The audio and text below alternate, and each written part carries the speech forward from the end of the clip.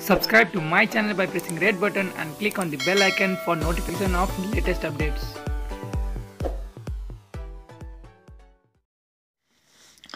सत्तारूढ दल Nepal communist party नेकपाको केन्द्रीय कमिटी बैठक बुधबारदेखि राजधानीमा जारी छ। चालु बैठकले पूर्व माओवादी र पूर्व एमाले नामका दुई समूह गुटहरूलाई तीन कितामा बाँडेर सिन्डिकेट गरिदिएको छ। नेकपाभित्र अब पूर्व माओवादी र पूर्व एमाले समूह भन्ने रहेनन्।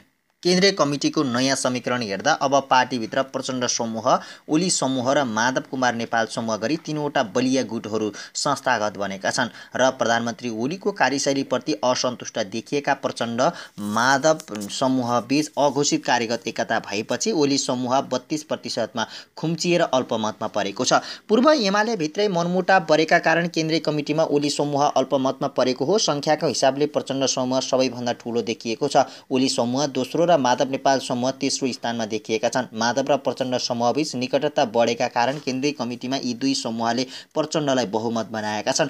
हुन त नेकपाभित्र वामदेव गुट र बादल गुट पनि अस्तित्वमा नआएका होइनन् तर अहिले यी पूर्व समूहहरू माधव नेपाल र प्रचण्ड समूहको उपग्रहका रूपमा फन्को मार्ने अवस्थामा रहेका छन्। विशेष गरी स्थायी कमिटी बैठकको पूर्व सन्ध्यामा अघिल्लो महिना वामदेव निवास भैँसी पार्टीमा बसेको माधव प्रचण्ड गुटको अनौपचारिक भेलापछि नेकपाको समीकरण बदलिएको हो। भैँसी पार्टीबाटै शीर्ष नेताहरू प्रचण्ड माधव झलनाथ र वामदेव एक भएका हुन्। भैँसी पार्टी भेला अघिसम्म प्रचण्ड केपी ओली नजिक थिए। भैँसी पार्टीको साँडगाँठपछि सचिवालयका नौ नेताहरूमध्ये केपी ओली पक्षमा तिनजना र प्रचण्ड माधव पक्षमा छजना उभिएका छन्। चौवालिस सदस्यीय स्थायी कमिटी अग्नि सापकोटा बाहेकमा प्रचण्डको पक्षमा अठार माधवसँग बाह्र र केपी ओलीसँग चौधजना सदस्य रहेका छन्। स्थायी कमिटीमा प्रचण्ड माधवको मत जोड्दा तिस पुग्छ जुन अत्याधिक बहुमत रहेको छ। नेकपाको बैठक चलिरहँदा केन्द्रीय कमिटीहरूभित्र ने केपी प्रचण्ड र माधव नेपालको शक्ति कति छ भनेर आकलन गर्ने प्रयास गरेका छौँ। विभिन्न समूहका नेताहरूलाई भेटेर हामीले यो नेता कुन गुटमा छन् भनी पङ्गिल्ने प्रयास गरेका छौँ र त्यसको निष्कर्ष प्रस्तुत गर्ने प्रयास गरेका छौँ। नेकपाको केन्द्रीय समितिमा विधानता कुल केन्द्रीय सदस्यहरूको सङ्ख्या चार सय एकचालिस हो। यसमा पाँचजना पदेन सदस्य र तिनजना आमन्त्रित सदस्यहरू थप्दा केन्द्रीय कमिटीको सङ्ख्या चार सय उनपचास हुन आउँछ।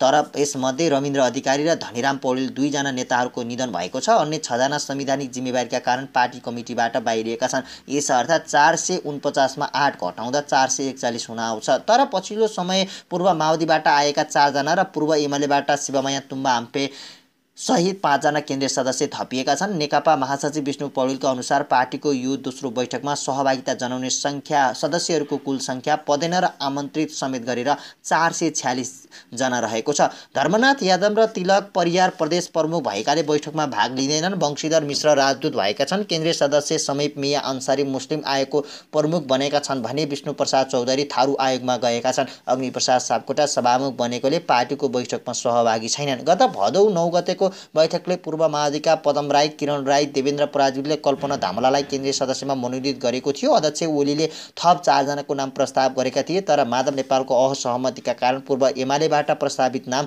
केन्द्रीय कमिटीमा परेन। मङ्गलबारको सचिवालयको बैठकले निवर्तमान उपसभामुख शिवमया तुम्बा हाम्पेलाई केन्द्रीय कमिटीमा ल्याएको छ। बैठकमा भाग लिन पाउने आमन्त्रित केन्द्रीय सदस्यहरूको पेसल खतिवडा टङ्क राई र निर्मला देवकोटा छन् भने पदेन सदस्यहरूमा अमृत बोहरा केशव बडाल पुष्पा कणेल विष्णु पुकार श्रेष्ठ नन्दकुमार प्रसाद रहेका छन्। पूर्व सभामुख कृष्णबहादुर महराले सभामुख हुँदाखेरि तत्कालीन माओवादीको केन्द्रीय कमिटीबाट राजीनामा दिएका थिए। उनी पार्टीमा पुनर्स्थापित नहुँदै जेल परेका छन्। केन्द्रीय कमिटीको बैठकमा समूहगत छलफलका लागि पन्ध्रवटा समूह विभाजन गरिएको छ। चौधवटा समूहमा उन् उन्तिस उन्तिसजनालाई राखिएको छ भने एउटा समूहमा एकचालिसजना सदस्यहरूलाई राखिएको छ। यस आधारमा केन्द्रीय सदस्यहरूको यकिन सङ्ख्या चार सय सैँतिस हुन आउँछ र यसमा सचिवालयका नौजना शीर्ष नेताहरूलाई जोड्ने हो भने चार सय छ्यालिस पुग्दछ प्रचण्ड ओली र माधव गुट कति कतिजना छन् भनेर गरिएको अध्ययनमा हामीले सचिवालयका नेताहरूलाई समावेश नगरी चार सय सैँतिस सङ्ख्यालाई आधार मानेका छौँ।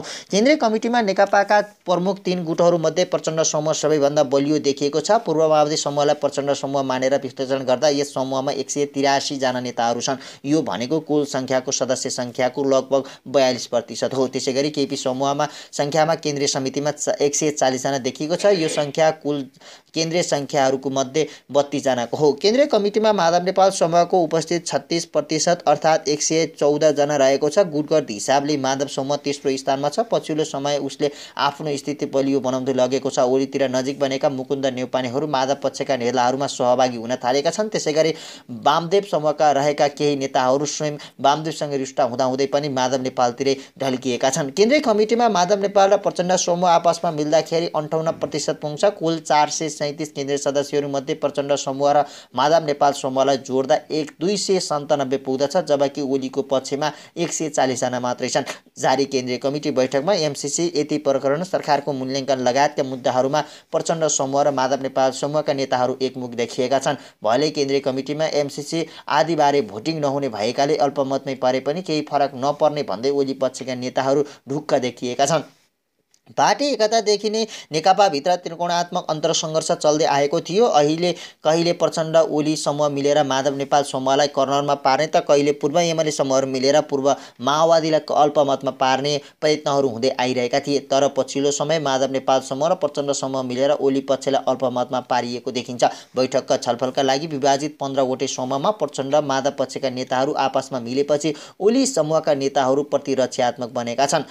पहिलो समूहमा प्रचण्ड पक्षका पन्ध्र ओली पक्षका एघार र माधव पक्षका तिनजना नेता थिए। पहिलो समूहमा टोली नेता प्रचण्ड र ओली दुवै गुटबाट छानिएका छन्। दोस्रो समूहमा प्रचण्ड पक्षका पन्ध्र ओली समूहका दस माधव समूहका ती चारजना रहेका छन् र टोली नेता प्रचण्ड समूहबाट छानिएका छन्। तेस्रो समूहमा प्रचण्डका आठ ओली सोह्र माधव नेपाल पाँच र टोली नेता ओली समूहका चयन भएका छन्। त्यस्तै चौथो समूहमा प्रचण्ड समूहबाट पन्ध्र ओली पाँच माधव नौ र टोली नेता माधव समूहका बनेका छन्। पाँचौँ समूहमा प्रचण्ड सत्र ओली तिन माधव नौ टोली नेता माधव समूहबाट बनेका छन्। छैटौँ समूहमा प्रचण्डबाट चौध ओली एघार माधव चार टोली नेता प्रचण्ड समूह बनेका छन्। सातौँ समूहमा प्रचण्ड चौध ओली सात माधव आठ र टोली नेता प्रचण्ड समूहका बनेका छन्। त्यस्तै आठौँ समूहमा प्रचण्ड आठ ओली एघार माधव दस र टोली नेता ओली समूहका बनेका छन्। नवौँ समूहमा प्रचण्ड दस ओली तेह्र र माधव छ टोली नेता ओली समूहकै बनेका छन्। दसौँ समूहमा प्रचण्ड दस ओली एघार माधव आठ आठजना रहेका छन्। एघारौँ समूहमा प्रचण्ड नौ ओली सात माधव तेह्र र टोली नेता माधव समूहका बनेका छन्। बाह्रौँ समूहमा प्रचण्ड बाह्र ओली नौ माधव नेपाल आठ टोली नेता प्रचण्ड समूहका बनेका छन्। तेह्रौँ समूहमा प्रचण्ड सात ओली नौ